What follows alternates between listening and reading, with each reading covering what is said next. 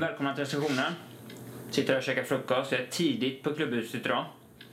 Jobbar lite extra för jag ska göra en recension av Canadian Supercurve. Klubban som kommer sex veckor efter alla andra. Men är det värt väntan tror ni? Är den sex veckor bättre än alla andra? Ska vi ta reda på idag. Jag ska bara käka färdigt först. Leafbladet som sitter på superkurven har alltså lite offset på sig. Det betyder att bladet sitter lite, lite förskjutet bakåt om man jämför med alla andra blad. Det är de ensamma om i innebandyvärlden Canadian att ha. Nu är alltså bladet nyhookat och ni ser att det har lite coola räfflor under bladet där som ska hjälpa till och, så att det blir mindre friktion. Funkar faktiskt riktigt, riktigt bra. Hela bladet känns gediget och välgjort. Så får man akta den här snygga ytan som är på den när man värmer den med värmepistol.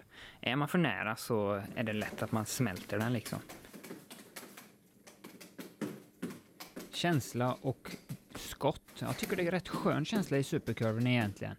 Bladet är styvt men ändå med bra känsla i det. Jag tycker det är en sån här god mediumplast som liksom står emot men ändå, ändå är härlig.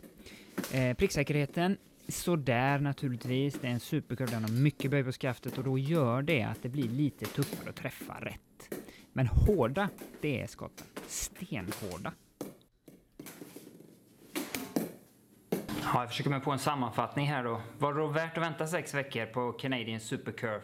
Nej, naturligtvis inte. Den skulle ha kommit precis samtidigt som alla andra klubbor. Stor miss av Canadian och jag hoppas att de har lärt sig någonting av det, kanske till nästa år. Men hur som helst, vi ska inte klaga på dem utan det är en förträfflig klubba. Man skjuter som en häst och den är råsnygg. Passar de flesta som gillar att skjuta. Är du lite yngre så passar det för den för att det blir ganska styvt, både blad och skaft. Även 29 är ganska styv egentligen tycker jag.